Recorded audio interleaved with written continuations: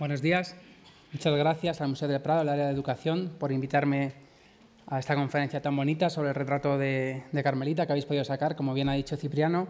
Gracias también al Departamento de Pinturas a 1700 por la sugerencia e invitación y gracias a todos ustedes por venir a escuchar una conferencia sobre un pintor no tan conocido, pero que en este año dedicado al Greco se está conociendo cada vez más. Y esa es la intención que tenemos en el museo y la intención que tiene el Prado y que, tiene, que tienen todos los museos estatales, que Tristán se conozca más, sobre todo porque hay pintores que, que están a la sombra de los grandes maestros, como es el caso de Tristán, pero que poco a poco con su obra, como van a ver, es un pintor bastante notable, de mucha calidad, y, y aquí le tienen. Empezamos la conferencia con las posibles representaciones de Luis Tristán a través de la pintura. Luis Tristán nace en Toledo, como dijo Palomino, en el año 1585 o en una fecha cercana, y en Toledo es donde va a ejercer su primera formación como discípulo del Greco. Entra en el taller del Greco en el año 1603, luego vamos a hablar de cómo Pacheco describe cómo era el taller del Greco, qué se hacía con la pintura, qué materiales utilizaba y qué temas se componían para la devoción toledana que había en el Toledo de principios del XVII. Aquí, para presentaros al personaje del que vamos a hablar durante esta conferencia, les traigo los retratos que más o menos han atribuido que pudieran ser el rostro de Luis Tristán. El primer retrato es el que sale en, los anales de William Sterling en el año 1848, donde se refleja la pintura española y aparece este retrato de Tristán. Después tenemos un retrato atribuido en ocasiones a Tristán, en ocasiones a Horacio Borgiani, que representa a un pintor con sus atributos de pintor, es decir, con su paleta de pintor, con sus pinceles, su escabel, vamos a ver cómo hay mucha discusión sobre ese autorretrato, ya luego le compararemos con el monje para que vean ustedes y que tengan su propia opinión. Una foto que encontré en el archivo Amatller en Barcelona, que está atribuida a Tristán, que también es dentro de esa línea de defensa de la pintura, por eso aparece el, retratado con el pincel. Y luego abajo, en la parte inferior, tenemos retratos que pertenecen a una colección particular madrileña.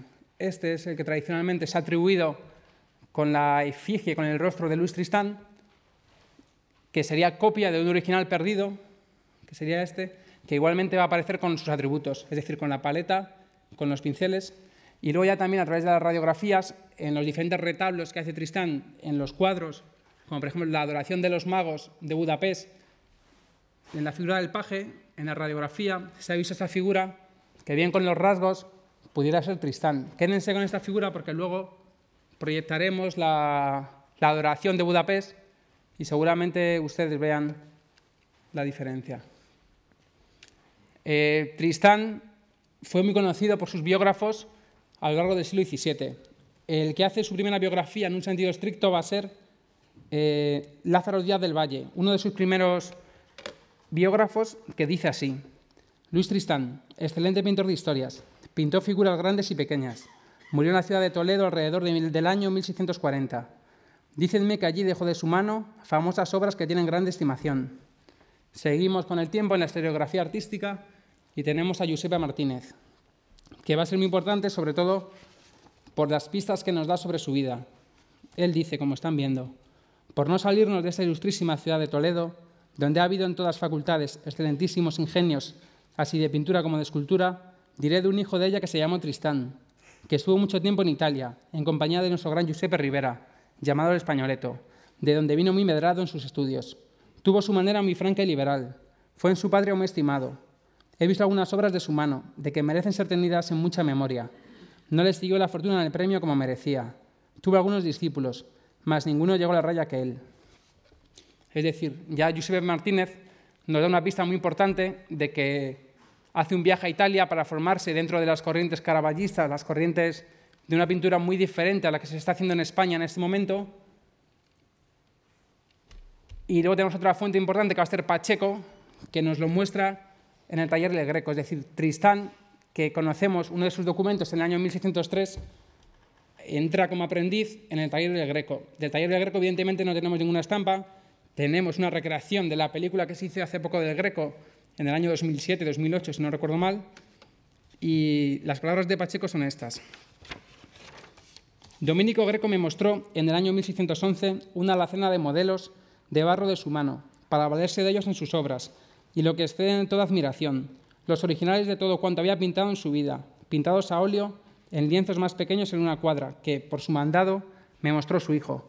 Es decir, ya tenemos a Tristán, que entra en el taller del Greco como discípulo, que aprende esa maniera alargada del Greco, esas figuras tan características del Greco como están viendo en la imagen, y que va a aprender un poco, sobre todo, la serie, la serie de, de temas, la serie de cuadros repetidos, es decir, apostolados, pintura religiosa, salvadores, escenas del Antiguo Testamento, es decir, es un poco esa producción en serie la que va a aprender Tristán y la que luego veremos que tanto triunfo tiene en Toledo a la muerte del Greco en el año 1614.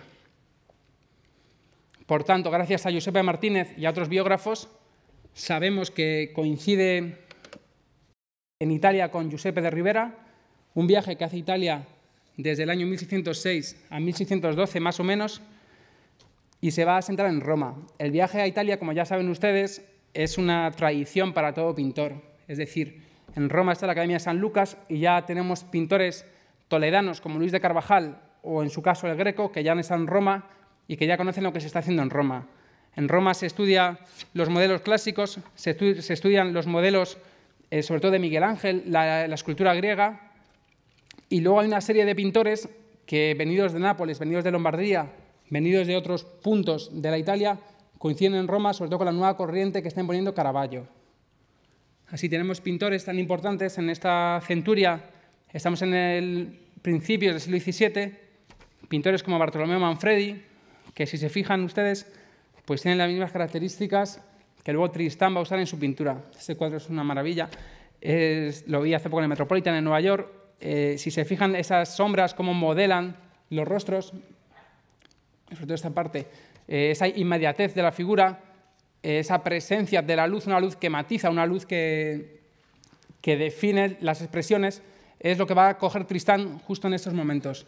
Y sobre todo las parejas de santos. Esto va a ser muy importante en la devoción toledana, una devoción que tiene mucho, mucho peso en la Toledo, que era sede del arzobispo primado, y que va a demandar pintura tanto de modelos del Greco o pintura de la española, que era la que hacía Tristán, Maíno, Orrente y otros pintores que ya luego veremos. Luego también tenemos otros pintores, temas muy bonitos que Tristán va a recoger en su pintura.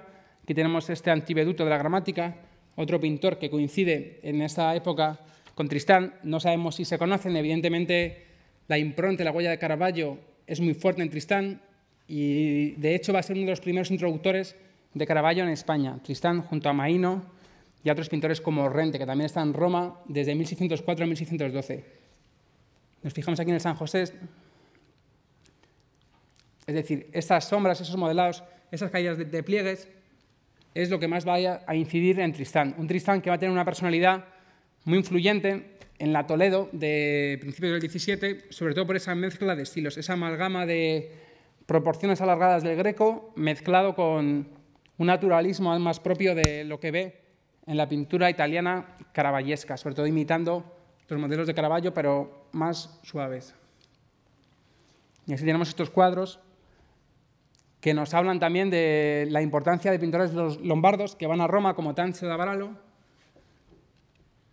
que es el que tenemos desde el martirio de San Sebastián. Si se fijan ustedes en los plegados, esos plegados, esos juegos con las luces, con las diagonales, con unos escorzos imposibles, es lo que le va a dar las enseñanzas artísticas a Tristán y por lo que, va a triunfar tanto en Toledo y por lo que va a ser tan famoso.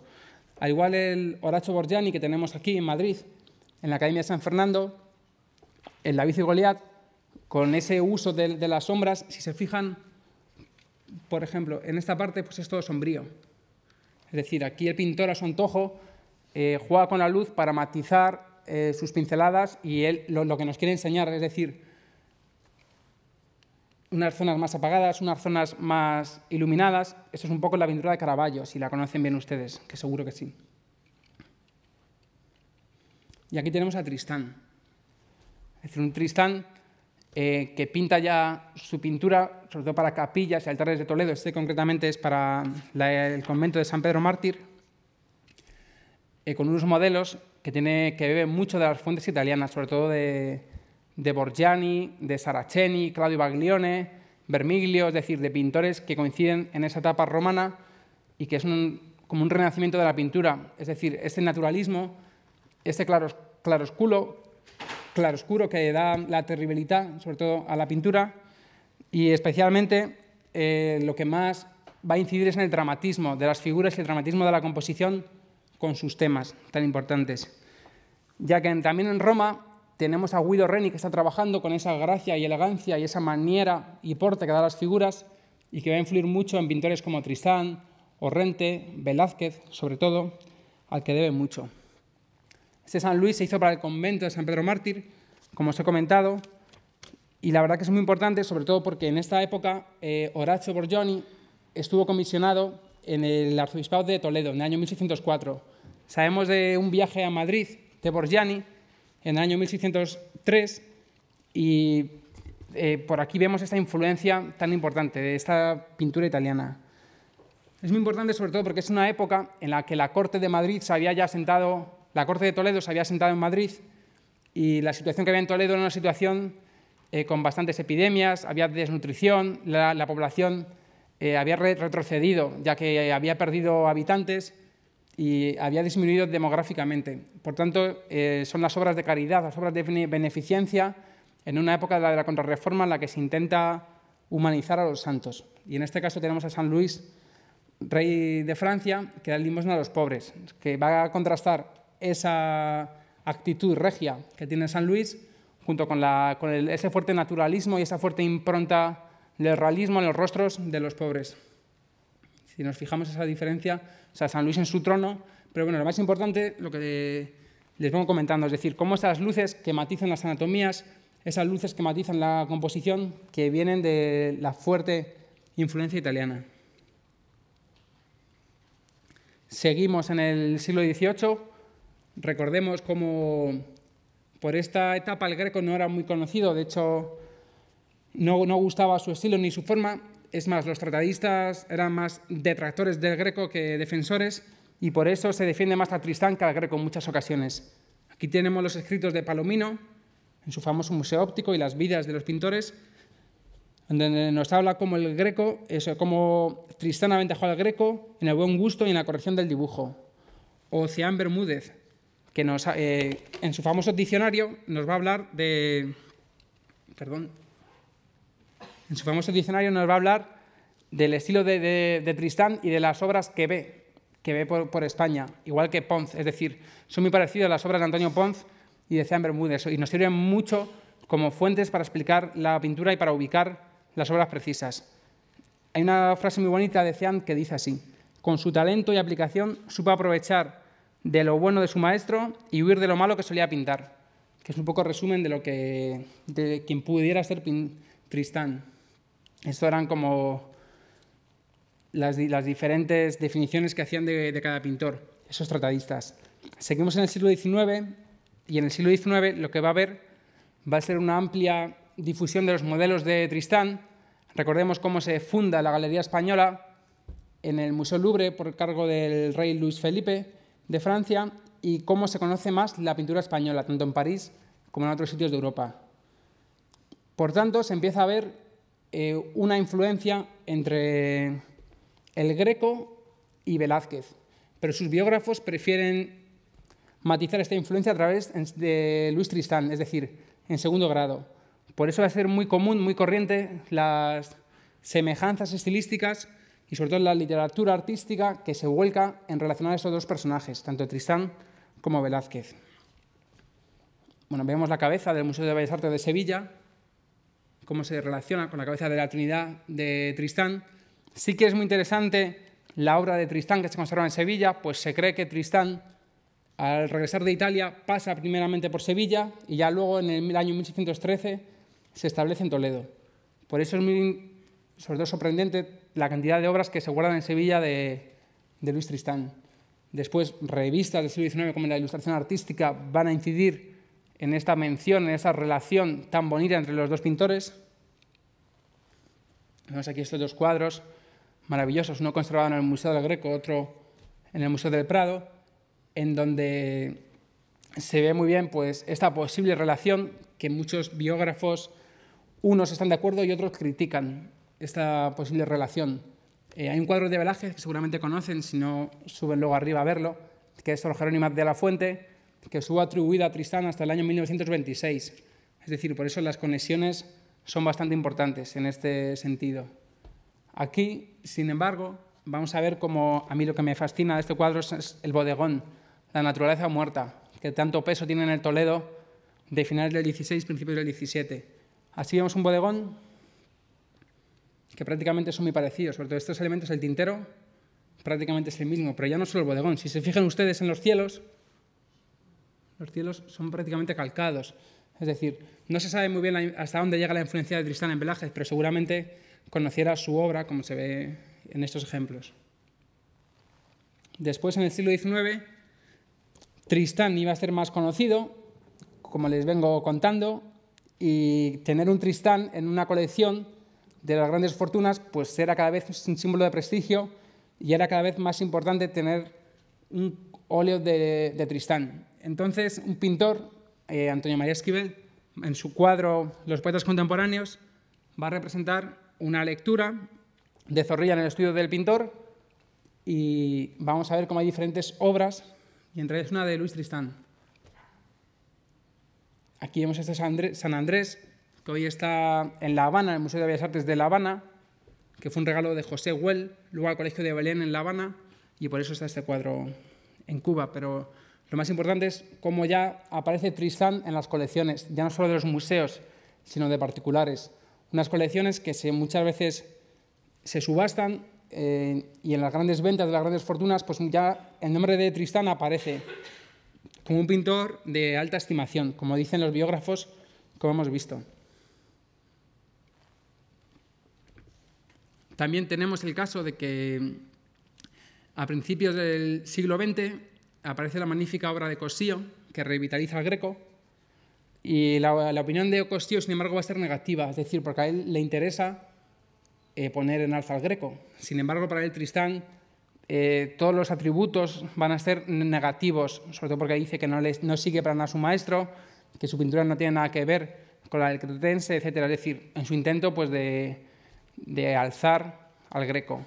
Sin embargo, Francisco de Borja San Román, investigador que trabajó durante mucho tiempo en los archivos de Toledo y que sacó muchos documentos, tanto del Greco como de, como de Tristán, pero ya no solo en pintura, sino también en literatura, también de Lope de Vega, eh, sacaron, sacó muchos documentos a la luz en esta época, a principios del siglo XX, eh, fue el que revitalizó realmente la figura de Tristán, el que sacó nuevos documentos documentos sobre su casamiento con Catalina de la Higuera, documentos sobre su familia. Sabemos que Tristán procede de una familia de artesanos, que Tristán, eh, su madre, Ana de Escamilla, regentaba el mesón de la fruta vieja en la calle del Barco y que en la calle del Barco precisamente estaba situado su taller, su taller donde hacía esas bellas composiciones al estilo del Greco, como hemos visto antes en esa imagen de la película que exponía. Entonces, en el año 1924, dentro de este fervor, por Tristán se le concedió un homenaje en la calle del barco. Aquí vienen a los asistentes al acto y se, puso, se erigió una placa en la calle del barco, que es una calle de Toledo que baja desde la catedral a, barrios como el Pozo Amargo, si no recuerdo mal. Eh, de esta placa ya, vamos, no está entera. Si van a ver ustedes la calle del barco, van a ver la placa, pero no la van a ver no la van a ver entera, pero bueno, lo importante es el acto y esa dedicación y ese, ese renacer de un pintor que ha estado siempre a la sombra del, Greco, pero que pues, poquito a poco iba despertando y cada vez iba siendo más conocido. Eso se debe también, sobre todo, a las colecciones tan importantes. Con la desamortización, muchos de sus cuadros eh, de conventos eh, se dispersaron. Eh, aquí tenemos el ejemplo del Museo Provincial de Toledo, a finales del siglo XIX, principios del XX, en San Juan de los Reyes, que bien conocerán por esas cresterías góticas maravillosas de la bóveda. Y aquí tenemos cuadros del, bueno, no solo de Tristán, también tenemos, bueno, aquí tenemos San Pedro, que es uno de los cuadros más recurrentes en la producción de Tristán y sobre todo que más éxito le dan ese San, San Pedro penitente, en una época de la contrarreforma donde se humanizan los santos, donde se divinizan a los seres, se humanizan a los seres divinos, perdón, pero luego también tenemos sorpresas muy agradables, como esta plano del Greco, que aparece aquí. Es decir, por eso es la importancia de las fotografías antiguas para situar a la pintura. O dentro de los tesoros que compra el marqués de la Vega Inclán para crear su ansiada casa Museo del Greco, eh, en las pinturas que restaura y las pinturas que adquiere van a estar muchos cuadros de Tristán, un Tristán que siempre va a estar colocado al lado del Greco como discípulo del Candiota.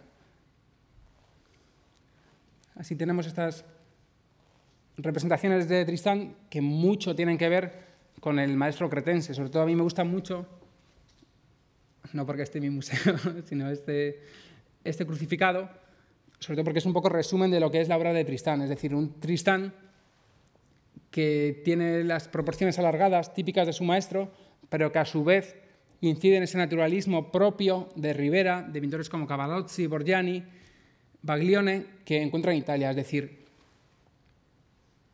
esos fondos rojizos, esa pintura áspera, terrosa, es una pintura muy diferente a la que ya hace el Greco, pero sin embargo sus proporciones van a recordar mucho al Greco. También de Borgiani tenemos un crucificado en la Palacio Arzobispal en Toledo del año 1604 que seguramente influye en esos pintores. Pero bueno, he de deciros que Tristán a partir de aquí se convierte en el mejor representante de los crucificados y que actualmente hay más de 15, 16 versiones de crucificados de la mano de, Tristán o de su taller, que va a ser muy importante y que va a ser heredero del taller del Greco, que luego hereda Jorge Manuel, y que cuando lo cierre Jorge Manuel, pues el, taller de Tristán va a ser el más, el más solicitado en la ciudad. Luego Santo Domingo, que les he puesto antes, también. Pero no llega solo a España el caso de Tristán. Tenemos casos muy importantes como es el del Museo Louvre en París, donde en las salas de pintura española ya desde 1879 va a aparecer un Tristán.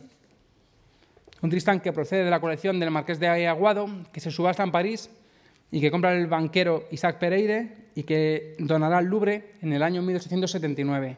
Sobre todo es muy importante como ya en, este cuadro de Luis Begú va a representar eh, la, la, escuela española y ya va a estar expuesto. Es decir, esto nos habla muy bien de la importancia de Luis Tristán en la pintura española, sobre todo Luis Tristán, del que hay mucho en museos extranjeros. El San Francisco es una maravilla, también uno de los mejores retratos que tiene. Aquí se ve mucho esa influencia de Borgiani, sobre todo en esos cielos de tormenta. Y luego también el bodegón. O sea, el bodegón va a ser una cosa muy característica de la pintura de Tristán, sobre todo por... El bodegón nace en Toledo gracias a la a la figura de Blas de Prado, después con Sánchez Cotán se asienta el género del bodegón, la naturaleza muerta, y luego muchos pintores como el Greco, como el Tristán, van a meter ese género de naturalezas muertas en, sus composiciones. Y este bodegón es magnífico, por ejemplo, de San Francisco. Otras ventas de Luis Tristán en París estamos. Eh, la colección del Conde de Quinto se vende en París, entonces en 1862 lo adquiere John Bowes, el fundador del Bowes Museum en Inglaterra.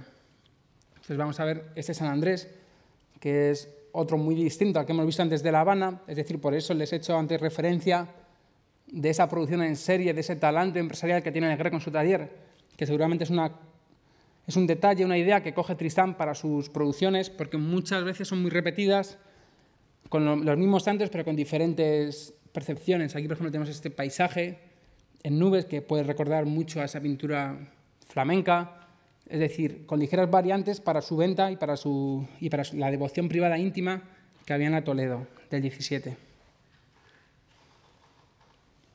La pintura de Tristán sigue siendo muy importante.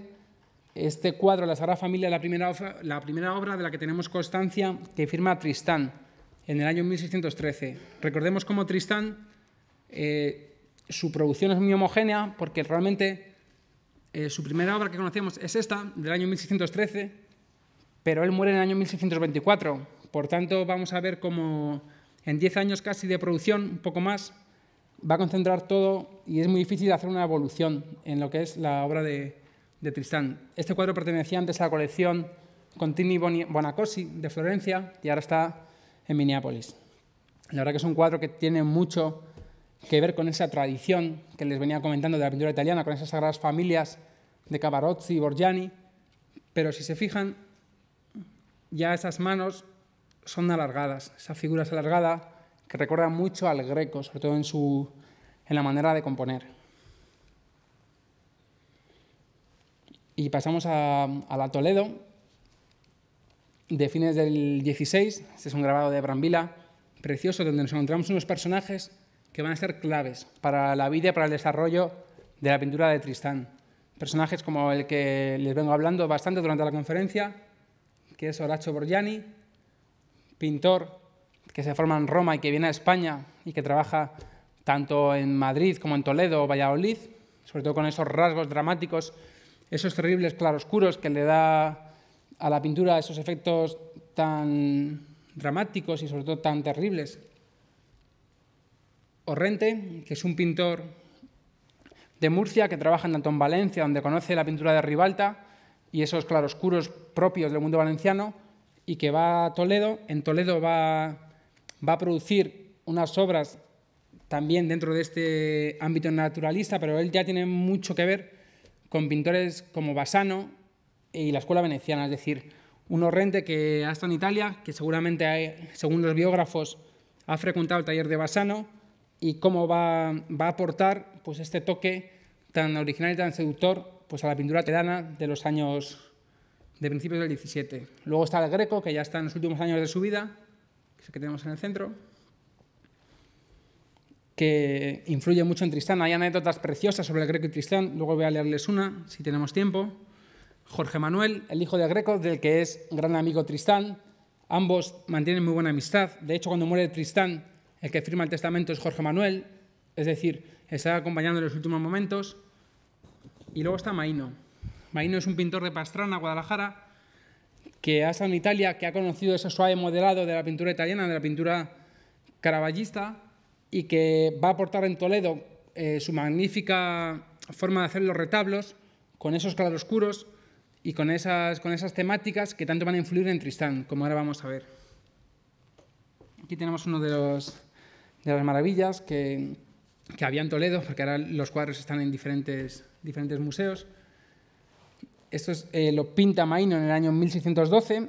Eh, se le encarga ese retablo, que va a ser un, retablo que tenga mucha influencia en la pintura toledana, sobre todo porque cuando se hace ese retablo, ya todo el mundo quiere tener un retablo a lo maíno, sobre todo porque es un retablo diferente. Recordemos cómo el Greco está trabajando en Santo Domingo el Antiguo, en Tavera, en Illescas, la Capilla San José, con unas figuras mucho más estridentes, mucho más subjetivas, o sea, mucho más manieristas, se podría decir. Sin embargo, Maíno apuesta por otra tendencia en la pintura, que es una tendencia más caravallesca, una tendencia mucho más naturalista, mucho más realista, que era realmente lo que más gustaba, sobre todo a cardenales como don Bernardo Sandoval y Rojas, que coronó eh, y que apoyó a, esta nueva jornada de pintores que venían, tras su paso por Italia, con esas nuevas influencias dentro del arte que se desarrolló en Toledo del siglo XVII principios. Hay una frase de Pons que ya les he comentado, que hace su maravilloso viaje por España, que realmente define lo que es Maíno. El gran genio de invención, conocimiento de claroscuro, dibujo y mucha práctica de color. Pero también tenemos un detalle muy importante, es como el cardenal Sandoval y Rojas, que era un hombre muy moderno para su tiempo por estos gustos que no nada tenían que ver con ese gusto reformado, ese gusto más, eh, más dogmático que podía tener el cardenal Quiroga de unos años antes, donde prefería a los pintores del Escorial, sobre todo unos pintores como Luis de Carvajal, Luis de Velasco, unos pintores que, que manifestaran pues, la religiosidad pues, frente a su estilo, es decir, tenía que primar eh, el dogma de fe antes que el estilo personal de, los pintores, sobre todo para que llegara el mensaje a la población. Sin embargo, con el cardenal Sandoval y Rojas fue todo lo contrario, apostó por los nuevos valores de la pintura toledana como son Luis Tristán, Orrente y Eugenio Cajés, Carducho, es decir, ya más que apostar por la escuela del Escorial, como apostó Quiroga, apostó por la escuela madrileña, que es un poco ya el reflejo de lo que se hará en Toledo. Y luego también apostó por pintores italianos como Carlos Saraceni, un Carlos Saraceni que se ve muy bien este, este gusto por este mundo de Caravaggio, pero también con esos suaves modelados que recuerdan a Venecia. Aquí tenemos a Perro de Orrente, también trabajando para la catedral, con esa milagrosa aparición de Santa Leocadia a San Ildefonso, donde se ve ese gusto por los nocturnos, por las penumbras, sobre todo por otra forma de hacer pintura muy diferente a la que hacía el Greco. Por eso es este mundo en el que está Tristán, en el que se desarrolla y en el donde va a hacer sus famosos retratos. Unos retratos que se ven aquí muy bien en esta última cena del Museo Nacional del Prado, que guarda, donde Tristán actualiza el momento de la cena gracias a ese bodegón.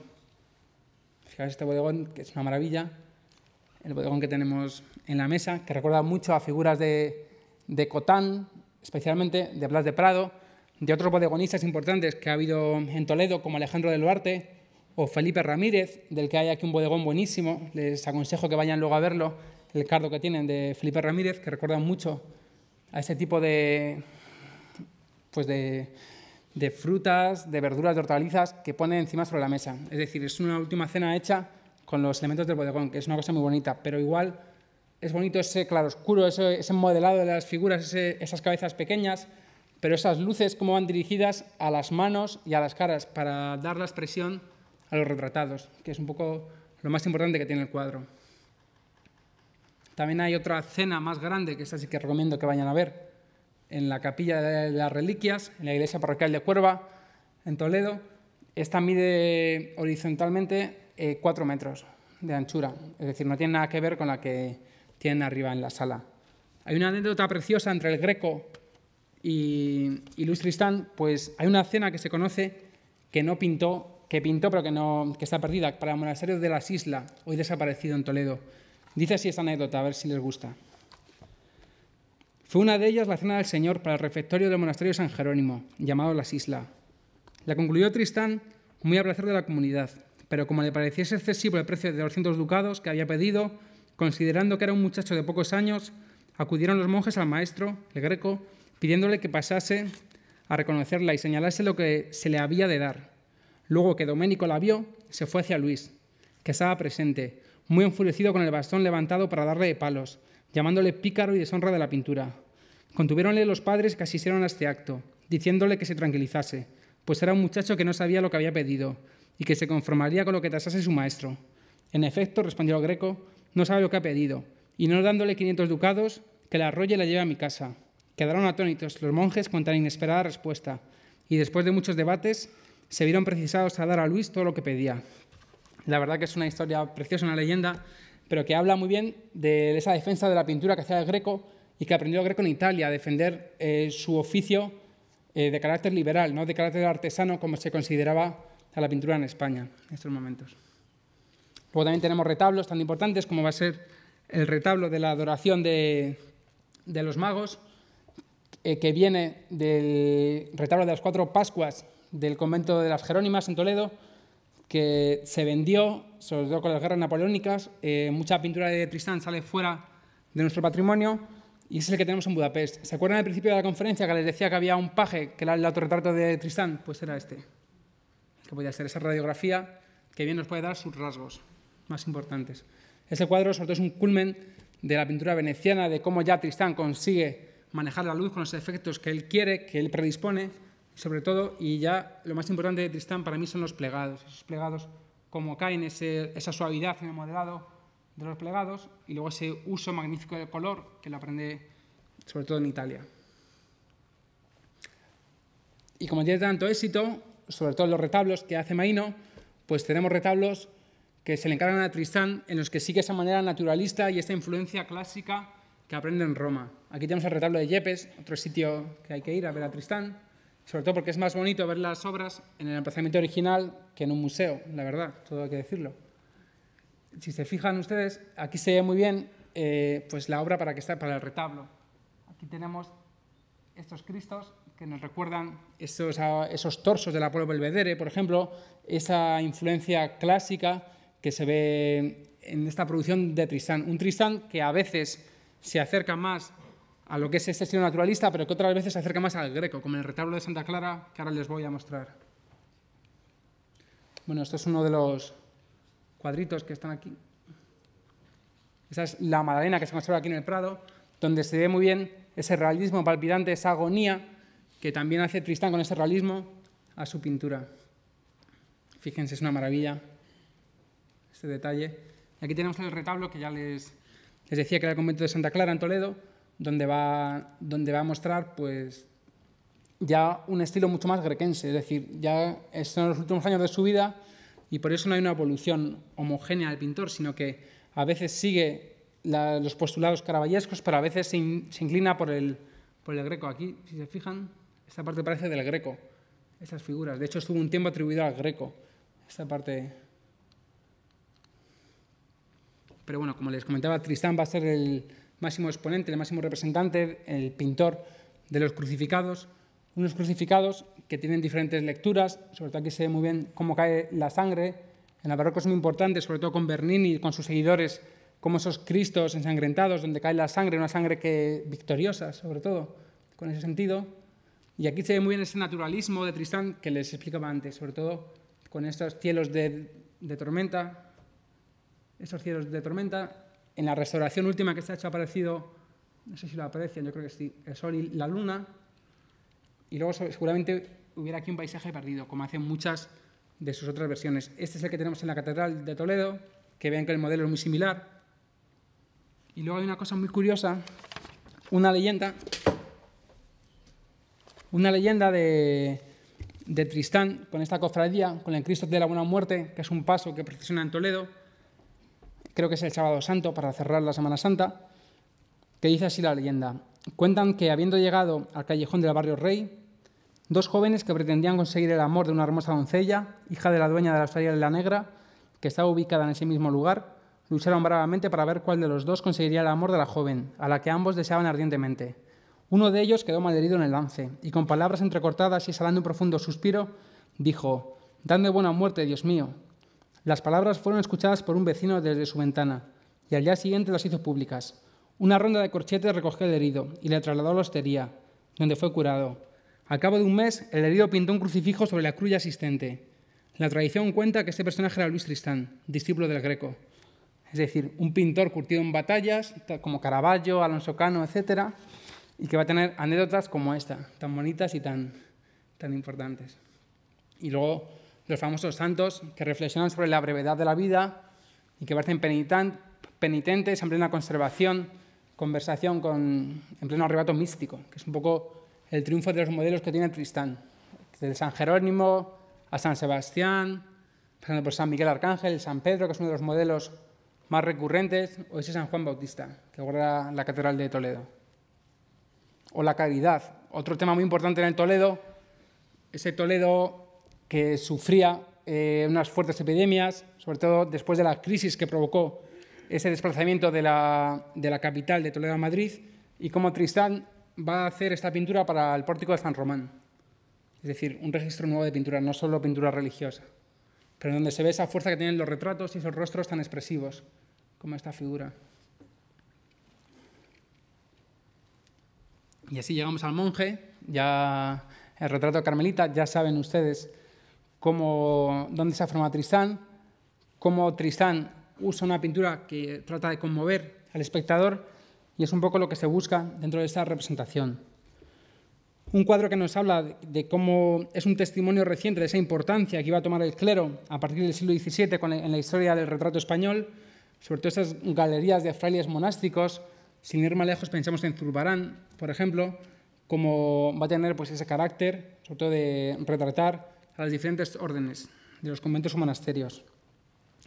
Un retrato de tres cuartos que se recorta sobre fondo neutro, y que tiene mucho que ver con lo, con lo, aprendido en Italia, sobre todo por este tipo de, como ya hemos visto, esos modelados a través de la luz, una luz que va a concentrar tanto en, en el rostro como en las manos, sobre todo para dar mayor expresividad a la figura retratada.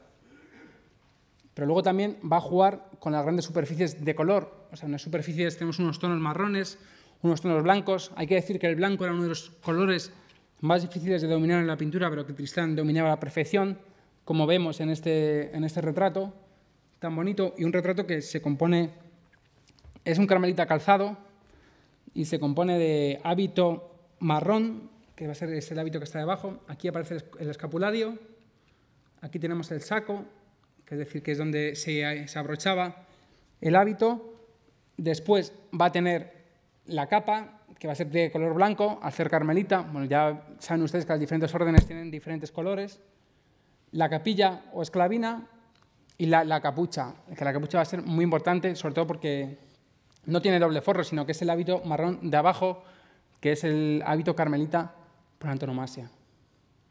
Después, eh, se fijan ustedes en la cara, ese realismo palpitante que tiene la cara, sobre todo hay un detalle muy bonito, muy realista, que es que tiene como media barba que le está saliendo la figura.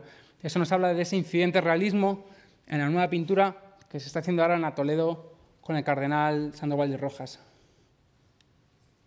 La procedencia de este cuadro no, no la sabemos, seguramente venga de un convento desamortizado, tanto en Toledo como en Madrid.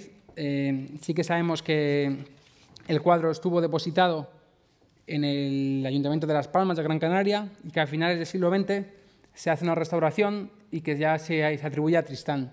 Por tanto, es un cuadro, se puede decir, de reciente atribución, pero que tiene todas las características propias de lo que es Tristán. Luego también el, inmenso libro con las manos, que va a ser objeto luego de, comparaciones, sobre todo bastante, bastante bonitas y, y elocuentes. Vemos aquí, sobre todo esa perfección que les vengo hablando en la pintura naturalista, es decir, no son las formas que hace el Greco, que son unas formas muy divinas, muy, con unas luces que realmente a veces las manos del Greco no son perceptibles, sino con Tristán, con Naino, con Orrente, es todo lo contrario, es una figura muy realista, muy, muy humana y aquí se ve muy bien ese tipo de detalles en nuestros bodegones. Sobre todo esa luz que matiza, si se fijan aquí, la sombra, es decir, ellos, eso es lo que indica que es un buen pintor, con las sombras pues van definiendo lo que es la composición, las diferentes formas de modelado. Un cuadro que, como ya les he dicho, viene del Museo de la, Trinidad, es decir, de, un convento desamortizado, todos los bienes pasan al Museo de la Trinidad, que estaba en la calle Doctor Cortezo, donde están hoy los cines Ideal, allá al lado, ahí como un comedor, un hospicio social, y es ahí exactamente donde estaba el Museo de la Trinidad.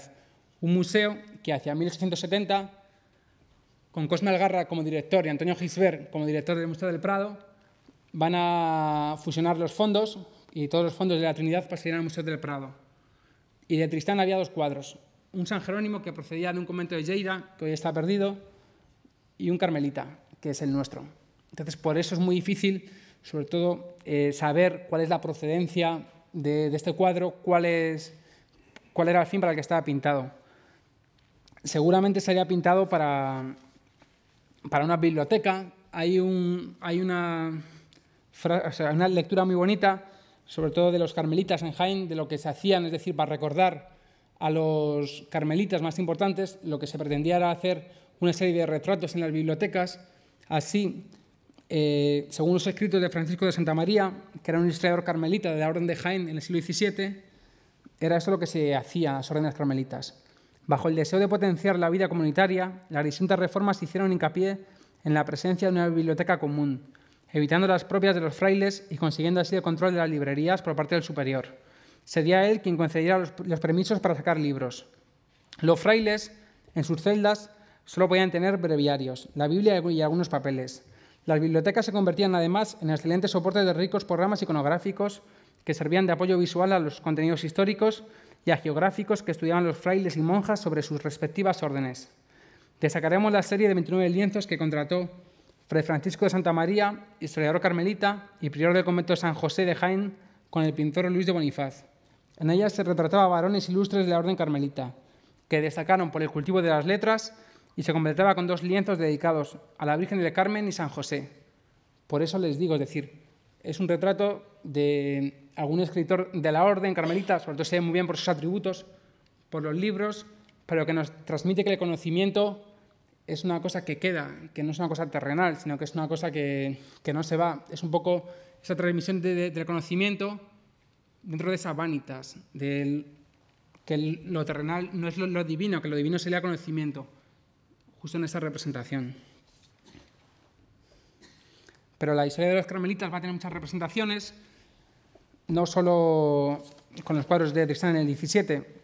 Así tenemos como los carmelitas tienen su origen en el Monte de Carmelo, en el siglo XII, cuando van a conquistar Tierra Santa. Entonces, a partir de allí se establecen tanto en valles como en montañas y en el centro tienen como una iglesia con la Virgen del Carmen que van ellos a adorar. Esta orden en el siglo XIII vino a Europa y en Europa va a funcionar de la misma manera con los montes, con las termitas. Eh, aquí en España hay monasterio de las Batuecas en Salamanca que sigue pues, un poco esta, esta tradición, sobre todo de ubicar esas iglesias, la comunidad en los valles y la iglesia en el centro. Y ya luego en el siglo XVI se meten en las ciudades, en los cascos históricos, en los conventos, y van a aparecer figuras muy importantes como Santa Teresa de Ávila o San Juan de la Cruz, que será quienes reformen la orden carmelita. Aquí tenemos representaciones de, del siglo XV, como son estas de Masaccio, que procede de una iglesia, la iglesia de Carmine de Pisa, o luego tenemos miniaturas donde se representan pues, con, los mismos, con los mismos aspectos, es decir, con ese hábito carmelita blanco y marrón, el hábito que tiene debajo. Anónimos toledanos que guardan el Museo de Santa Cruz, también de iglesias carmelitas de Toledo, que con la desamortización, pues todos los bienes, como bien saben ustedes, pues van a los diferentes museos provinciales. Fijamos este. Ese la verdad que tiene un poco eh, el sentido que tiene el nuestro, sobre todo por eso esa figura de escritor, ese carmelita que lee, ese carmelita que, que se instruye con el conocimiento, con el saber, que es una de las cosas más importantes que tenía la orden justo en esta, en esta época. Pintores, seguimos un poco la misma tónica, estos de pintores andaluces, tanto en el Museo de Córdoba como en el Museo de Granada. Ya ven cómo la representación no cambia, o hasta hace poco que se subastó en una subasta en el año 2011 este bandic con retrato carmelita. Por tanto, podemos decir que las... sigue estando de moda la pintura carmelita, sobre todo con esos hábitos, esas representaciones. Pero los retratos de Tristán van a tener mucho que ver con el greco, sobre todo con esas figuras, con esa psicología que le da el greco a los personajes, a esos retratados. Sobre todo aquí tenemos un retrato muy íntimo, que es el retrato de Antonio Covarrubias, que está en el Museo del Greco, donde se ve esa honda expresión del personaje, un personaje melancólico, un personaje que, que emana ese sentimiento de, pues a mí, de, tristeza, podría ser.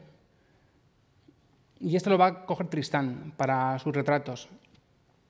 Aquí tenemos el cardenal Sandoval y Rojas, que ya les, les comenté que es una de las figuras más importantes, sobre todo por cómo él rompe con la tradición anterior del cardenal Quiroga, de pintores como Blas de Prado, Luis de Velasco, Luis de Carvajal, y va a apostar por esa pintura italiana y española que tiene que ver mucho con Caravaggio. Para ello eliges pintores de origen italiano y pintores de origen español, como es el caso de nuestro Tristán. Una pintura mucho más moderna, muy alejada del cretense, curiosamente no tiene nada de greco en sus inventarios, el cardenal Sandoval y Rojas, y sobre todo va a tener una predilección por Tristán, como se ve en los diferentes retratos que le hace Luis Tristán. Esos están en la Catedral de, Toledo y se ve muy bien, pues si se fijan, esa caída de pliegues, esa caída de pliegues, el, rostro, este rostro va a ser muy común porque luego va a representar a Sandoval y Rojas con diferentes santos, como ahora vamos a ver. Pero bueno, lo más importante es cómo esa sombra matiza tanto el hábito como la capa. Esto recuerda mucho, sobre todo aquí se va a ver muy bien, a los cardenales que pinta Rafael o que pinta Tiziano, por ejemplo, con esas con esas sombras, nos fijamos, los retratos son realmente siguen la misma composición, es decir, es una maravilla los retratos de, Tristán natural y sobre todo porque te dicen cosas como hacía anteriormente el Greco, sobre todo aquí vemos esta mirada inquisitiva, esa mirada feroz del cardenal Niño de Guevara, que todos sabemos esos procesos que tiene con la Inquisición, es decir, ya en los retratados se ve esa incidencia psicológica, más allá de lo que era un retrato de la pintura flamenca, que a lo mejor no te podía decir nada, sino ya con Tristán, con ese naturalismo, pues te va a dar pues esta seguridad en los retratados. Prácticamente se parecen mucho, ¿eh? con las capas, la posición de las manos, unas manos en las que son tan naturalistas que se aparecen hasta las venas en ocasiones, como vamos a ver. Esa es una maravilla, San Antonio Abad. Un cuadro muy desconocido de Luis Tristán, un cuadro que, que ya lo cita Pons y lo cita Ceán en, la, en sus obras, situado en la capilla mayor de la Catedral de, Toledo. Si se fijan, sigue un poco los mismos rasgos, es decir, esta luz que matiza los plegados, esos plegados que caen son muy parecidos, sobre todo que es una de las cosas más difíciles de hacer en la pintura, los plegados. Aquí tenemos un San Matías de colección privada que hace poco salió en subasta, que sigue también pues, esa tradición de los retratos de Tristán, unos retratos donde se va a ver esas apariencias naturales, cómo, Tristán trabaja a partir del, modelo, Pero a mí lo que más me gusta es esos plegados ampulosos, sobre todo esos plegados, y cómo ya la luz aquí va a matizar el color hasta hacerlo llegar a ser casi blanquecino. Esto viene mucho de lo que se hace en Italia. Pintores manieristas van a ser especialistas en hacer este tipo de efectos y detalles, pero sobre, todo se ve muy bien ese magnífico juego con las sombras, y ese realismo en las caras, con las arrugas en la frente, los pómulos, lo van a ver muy bien. Ese es el autorretrato que les decía antes de que no se sabe muy bien si puede pertenecer a Borgiani o Luis Tristán. Es un autorretrato que es una maravilla, sobre todo porque tiene mucho que ver con Tristán. Si se fijan en, la cara, esas sombras en los ojos, sobre todo esos pómulos, y luego sobre todo el color del blanco. Ese, el pintor que haya pintado esto es un maestro del blanco, sobre todo fíjense en los cuellos, cómo contrastan con esas grandes superficies de, color que están hechos muy al estilo de, Luis Tristán. Y luego también es un alegato, es una defensa de la pintura, que les venía comentando antes, con la reivindicación con sus pinceles en la mano. Y sobre todo esa individualidad del rostro, esa tonalidad verdosa, que recuerda mucho pues, a, a esas grandes superficies de color que nos hace Tristán y esos contrastes, sobre todo con esos blancos, con esos otros colores más ásperos, sobre todo por una preparación terrosa, que era la que utilizaba Tristán. Este es otro cuadro que es muy difícil de, ver porque está encima de una chimenea, que es el retrato del cardenal Tavera en el hospital del mismo nombre en Toledo, que sigue pues un poco la misma tradición, es decir, esos rostros individualizados, esas blancuras, sobre todo que mete siempre sus composiciones, sus hábitos, y luego sobre todo en esa forma de colocar la capa, que va a recordar mucho a Tristán, y sobre todo esas figuras de tres cuartos que se recortan sobre fondo neutro. Aquí tenemos un poco la incidencia del cardenal Sandoval y Rojas, cómo él pretende retratarse en retratos que hace Tristán a Santos, como si fuera un donante. Eso es muy, muy interesante. Este cuadro está en el convento San Clemente de Toledo, en la sacristía. Es la lactancia mística, como ven ustedes, la Virgen que le da el pecho a San Bernardo, en uno de sus episodios más importantes del santo. Esa Virgen que puede recordar al Greco en sus composiciones. Y aquí tenemos uno, el Santo Domingo, con el cardenal Sandoval y Rojas otra vez. Es decir, era una pasión, era una dedicación la que tenía Sandoval y Rojas por Tristán. Y eso se ve muy bien en sus obras y su producción. Aquí se ve muy bien otro hábito de Tristán. Es un hábito dominico, es decir, es un poco muy parecido al nuestro que tenemos. Pero bueno, donde se va a ver esa maestría de Tristán. Este cuadro también resume todo lo que es Tristán. Es decir, un maestro del bodegón de la naturaleza muerta y luego nos fijamos en el hábito, que va a recordar mucho al que estamos analizando. Luego también se ve clarísima la influencia de su maestro, el greco, por supuesto. Si ven a Pravicino, un fraile de la orden trinitaria, cómo va a recordar pues, un poco esas efigies, ese modelado que hace Tristán. Era pues, un poco dentro de ese aspecto de las galerías de retratos de religiosos que tenían que constar, que un poco como recuerdo del buen trabajo, siempre aparecen con libros, sobre todo por la sabiduría, por ese conocimiento que va más allá de lo terrenal. Pero bueno, vemos cómo se parece mucho el discípulo y el maestro, ese juego de sombras, ese juego de luces y ese modelado tan suave, tanto en unos como en otros. Aquí tenemos otro pintor muy importante de este momento, que ustedes conocerán bien por la exposición que hubo hace poco aquí en el museo, Fray Alonso de Santo Tomás de Maíno, que es, también Maíno está en Italia, ese pintor de Pastrana, Guadalajara, va a Italia y allí en Italia conoce el realismo, esa precisión de Caravaggio y de, otros pintores, como el Seimer, pintores caraballistas. Lo que pasa es que su modelado va a ser mucho más suave, es decir, mucho más académico. Si se fijan aquí también, es decir, eh, eh, hay como una fuerte luz dorada que emana toda la composición, es decir, es menos expresivo, como es Tristán en este retrato. Este es Fray Alonso de Santo Tomás, que es hijo ilegítimo de Felipe IV, y es un retrato también maravilloso, y que si se fijan en los hábitos, son muy parecidos.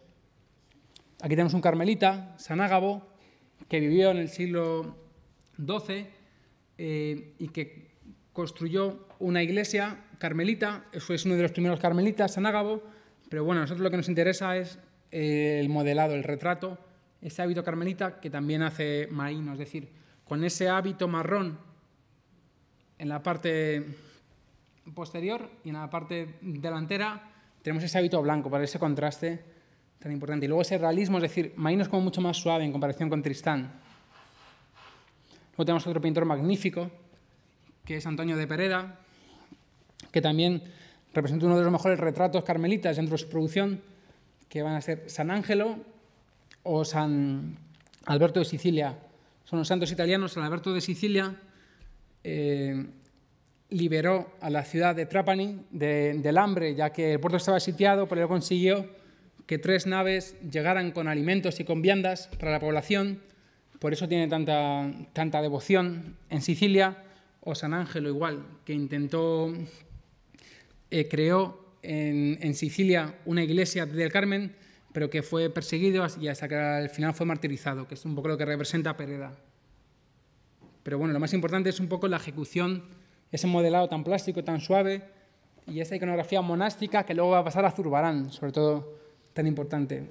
El cuadro están en el Consejo de Estado estos cuadros actualmente, y bueno, es un poco lo que venimos diciendo de lo que es la escuela madrileña de cómo la luz va a incidir tanto en el rostro como en las manos para dar esa expresividad a los retratados. Aquí tenemos también Zurbarán, esa iconografía monástica, que va a tener mucho que ver con esas figuras que se encierran en sí mismas, que se concentran, que se recogen. Nos fijamos también un poco, es lo que se representaba con ese bodegón, ese libro eh, que nos indica ese saber que tienen los monjes carmelitas. Y luego ya para concentrarnos en el rostro y para ir acabando, tenemos diferentes cuadros de Tristán en los que pudiera ser bien el modelo que vemos en el monje carmelita. Aquí tenemos este San Antonio, este tondo que se conserva en Sevilla, en el Museo de Bellas Artes, con ese pelo rizado, también con ese fuerte naturalismo en la cara. Ese rostro, que es uno de los más bonitos en la producción de Tristán, que es la Santa Mónica, que está arriba en, una de las salas de pintura toledana del Prado, donde se ve ese paso del tiempo en la figura de la anciana con esas arrugas tan realistas y tan naturalistas, sobre todo, y que llevan al dramatismo, sobre todo, que se ve muy bien aquí en ese tipo de arrugas, un poco que se puede relacionar, es decir, ese gusto por hacer las figuras fidedignas.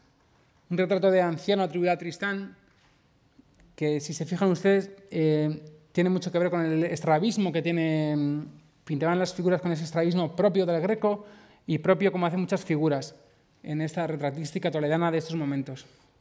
Pero bueno, son retratos de figuras inmediatas, rápidos y sobre todo sin ninguna identificación. Eso es muy importante porque el retrato llegó a muchas clases sociales a partir del siglo XVII y era el comercio que más triunfaba en Toledo y que más demandaban los clientes.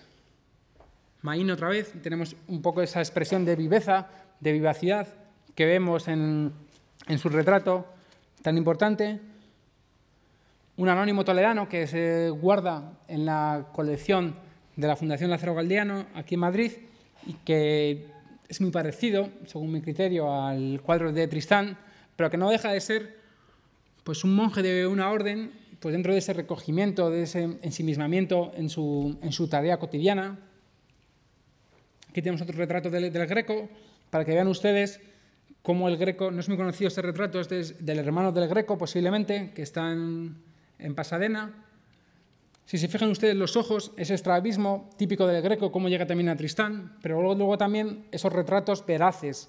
Aquí son retratos que conmueven al espectador, que es un poco lo que, lo que se pretende, con una barba de dos, tres días, con una expresión de la frente con las inminentes arrugas, y luego ya tenemos las, copias del taller de los rostros de Paravicino, que son muy parecidos a lo, carmelita que estamos estudiando.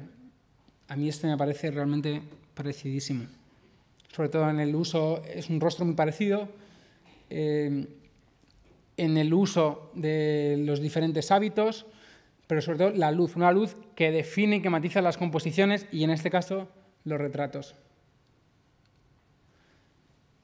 El bodegón, o sea, el bodegón va a ser una maravilla. En Tristán, unos libros que, es el atributo intrínseco de la sabiduría que pretendían tener estos monjes carmelitas o monjes de, cualquier orden, como hemos estado viendo, y que va a tener que ver con esas obras de meditación que leen esos ejercicios espirituales que leen sobre la pasión o la muerte de Cristo durante la contrarreforma.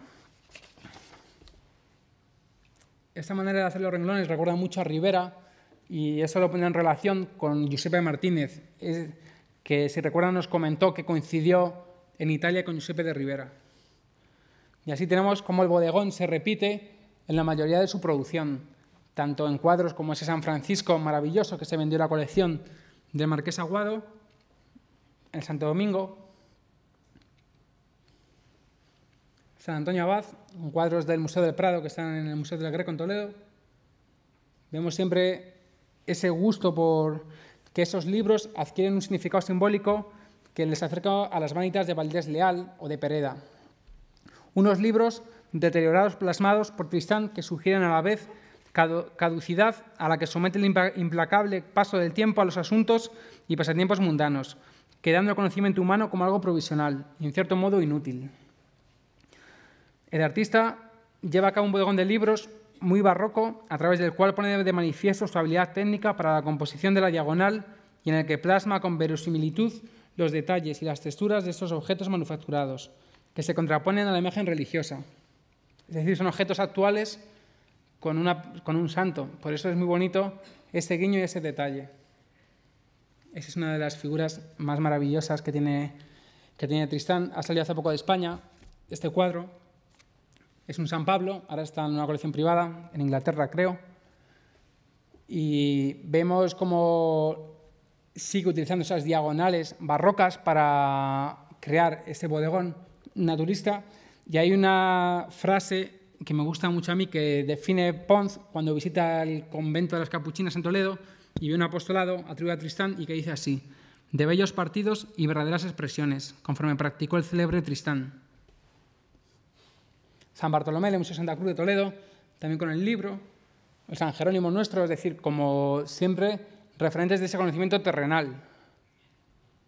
Y ya luego después el taller de, Tristán, pues sí que va a desarrollar la misma producción de santos, eh, sobre todo para seguir en boga en el mercado toledano de pinturas de la época. Se conoce poco del taller de Luz Tristán, sí que sabemos que hay pintores como Herrera el Viejo, Pedro de Camprovín, que pasan por su taller, Luego tenemos pintores que siguen esa manera de Tristán y que se conservan en Toledo, muchos de sus cuadros.